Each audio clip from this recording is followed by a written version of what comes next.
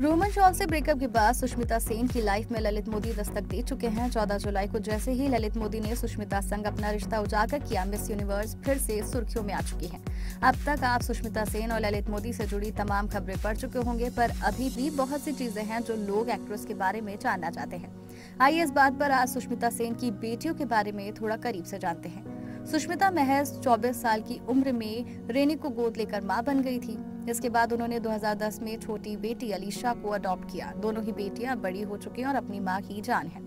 सुष्मिता सेन, रेनी और अलीशा के साथ हमेशा ही सोशल मीडिया पर तस्वीरों और वीडियो शेयर करती रहती हैं। माँ और बेटियाँ मिलकर हॉलीडे भी खूब इंजॉय करती हैं। तस्वीरों से पता चलता है, सुष्मिता और उनकी बेटियों का रिश्ता माँ बेटी से ज़्यादा दोस्त वाला है। बाईस साल की रेनी सुष्मिता सेन की राहों पर चलते हुए एक्ट्रेस बनना चाहती हैं। यही नहीं, वो सुट्टाबाजी से बॉलीवुड डेब्यू भी कर चुकी हैं। रेनी सुष्मिता की तरह स्टाइलिश और ग्लैमरस लाइफ जीने में यकीन रखती हैं।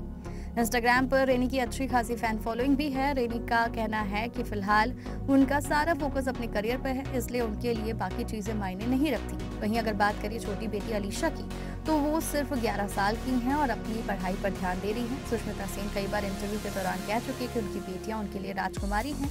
इसके साथ ही वो उनसे उनकी साँसें चलती हैं।